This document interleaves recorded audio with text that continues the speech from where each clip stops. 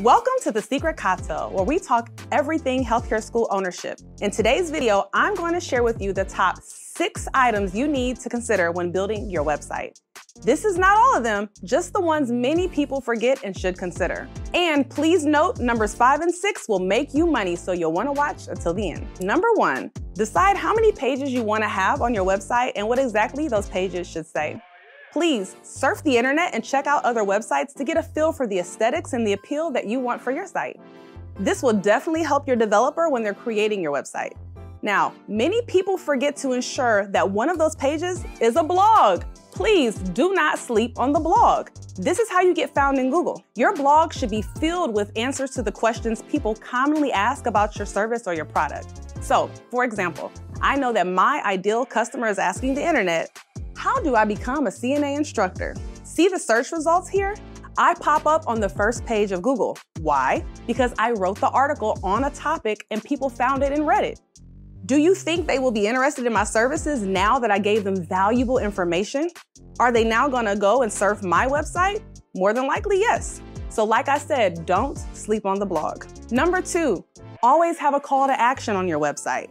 I am so tired of seeing websites with great info about the service or the product that they provide, and they get the customer all excited and ready to do business with them, and then there's no way for the customer to make that transaction. This is where the action button comes into play.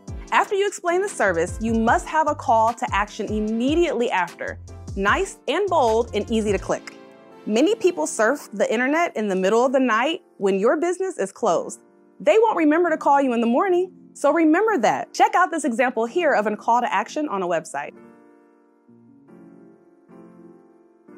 Number three, choose your domain. You know, the web address? Many people type www.whatever.com. That is your domain. Before you purchase a domain, please note that you need to make sure the domain is not confusing and that it's easy to spell. It shouldn't be too long, and it's best that it does not contain numbers and letters.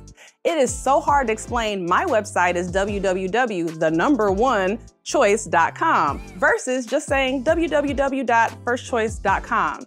See the difference? When you only have a one minute elevator pitch, you really ain't got time for that. Number four, don't forget to provide the customer with a means of contact. Some people like to call, some people like to email, and others, they just like to pop up. So make sure that you're catering to each of those customers. Be sure to have a page labeled Contact Us. And that page should have all the means of contact right there. Even your social media pages should be linked there. So remember, email, phone number, location address, and social media handles are very important for that page. Number five, make sure your website can take payments. No one wants to come all the way to your location just to pay you or go back and forth in your DM about your Cash App. You are a professional and a business owner. Let's present ourselves in that fashion. Your developer can actually connect your website to a payment processing company like PayPal, Stripe, or even Authorize.net. So please take a look at payment processing options for your website. It is a simple checkout process that enables customers to pay right away without delay, no matter the time of day. Nothing is better than waking up to see that people were paying for your services while you were sleeping. Contact a payment processor and get approved to have payments on your website. I personally like Authorize.net. They're affordable and the checkout process looks great from the customer's end. PayPal is probably one of the most expensive payment processors, and I would not necessarily recommend them. However, they do have a very easy checkout process, I can't lie. But when you see how much they're taking out of your payments, let's just say you'll see what I mean. Number six, the most important of them all. Remember, I talked about the contact page? You should have a contact us form on the contact page also. This form is for the person that does not want to call you, they don't want to email you, they don't want to stop by. They just want to fill out a form and wait for you to call them. Now, please listen carefully here, because this is the important part. Many website developers take advantage of new business owners because they do not know that the contact form needs to send the potential customer information somewhere valuable. Many developers will just have the form drop the customer's info off in cyberspace, never to be found again, or just have it send you an email with the person's name and information. That's not acceptable. Your contact form needs to be connected to an email marketing or a text message marketing system. Customers' contact info directly from your website is the most valuable info you can receive. This is a person saying, I came to your website, I see what you have, and I'm interested. Call me. This is a paying customer. An email marketing or text message system allows you to send or text blast all the people who are interested all at once.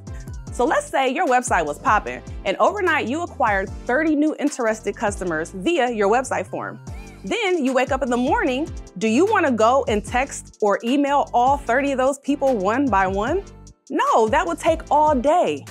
Your form, if it's connected directly to your email or text message marketing system, all those contacts will be all in one place. And all you simply do is press a button and email and text them all at the same time with the info they requested.